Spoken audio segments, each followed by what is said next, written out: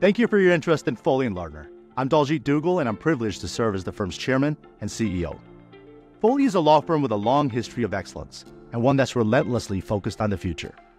We're a dynamic and growing firm that puts our people first and empowers them to bring new and innovative thinking to help our clients achieve their most important objectives.